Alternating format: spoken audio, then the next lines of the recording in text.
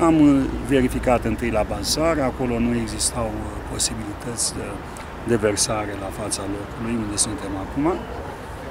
Și am rugat pe cei de la ACET să vină să ne prezinte o situație reală, de unde și cum apar aceste ape menajere la fața locului au venit reprezentanți de la sistemul de gospodărire a apelor, Garda de Mediu, dar și de la primăria Suceava. Problema cu acest canal colector plin de dejecții a fost ridicată autorităților de presă și este una destul de veche. Autoritățile au crezut la început că apa murdară este deversată de la bazar. După ce evacuarea din stația de epurare a bazarului a fost oprită, iar gura căminului de la evacuarea din stație a fost sigilată de reprezentanții SGA, s-a observat că în acel canal din Albia Râului se deversează în continuare. Astfel, autoritățile au stabilit că problema ar fi în altă parte. Deci debitul nostru evacuat de stație este extrem de mic, este 0,04 litri pe secundă.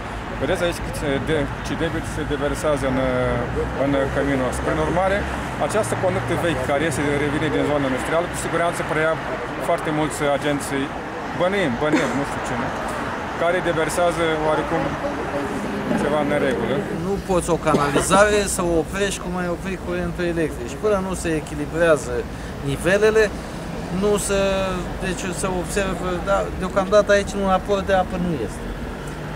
Exact ca și un aport de apă, atunci ar crește a crescut mai repede, nu? mai repede, dar n-a crescut deloc. A echilibrat acum. Eu m-am uitat, uite, vezi dunga aia, paiul ăla alb acolo. M-am uitat în dreptul lui și pe așa și...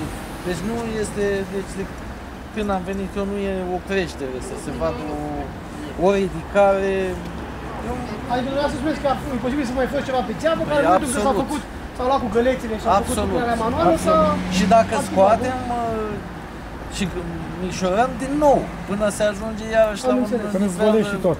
Până în momentul de față nu s-a stabilit cine se face vinovat pentru deversarea ilegală din Albia râului. Autoritățile cred că un agent comercial s-a înțepat ilegal într-o țeavă și face acele deversări. Potrivit celor de la Garda de Mediu, cine se face vinovat va plăti. Au fost luate de asemenea probe din apa râului Suceava pentru a se stabili dacă dejecțiile au ajuns în râu.